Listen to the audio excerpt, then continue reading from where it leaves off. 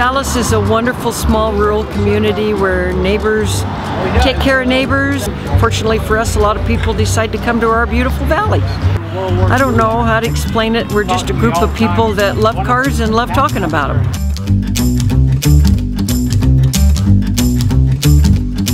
We put the show on every year the first Saturday of June, um, rain or sun. We have a wonderful turnout almost every year. We tend to have 60 to maybe 80 cars on a really good year.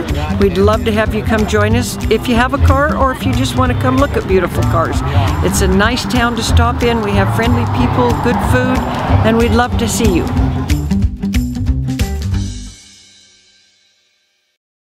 Hi, I'm Jenny Farr. Welcome to the 7C Junction. This is our grand opening.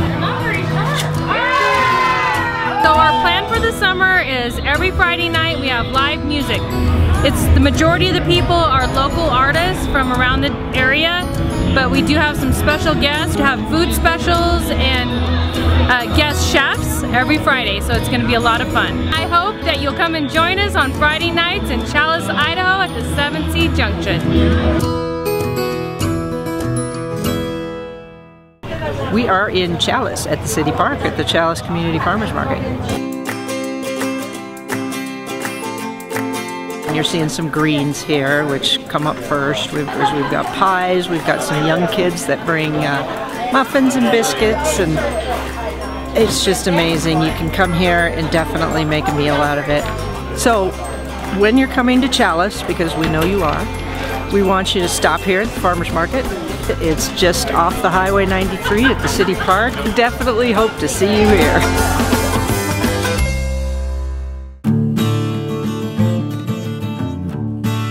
This is the North Custer Historical Society Museum. We have a lot of historical artifacts from the area, um, ranching, families donate items. We have different little vignettes. We have like a dining room kitchen area. There's a schoolroom. Uh, we have what I call the man cave, which is where the tools and saddles and stuff are. Uh, we have a big Indian display. We're on Main Street. It's easy to find and we'd love to have you stop in and see us.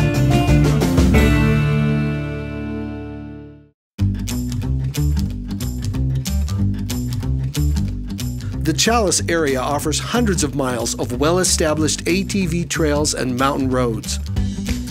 With wide open spaces, breathtaking views, and amazing historical sites.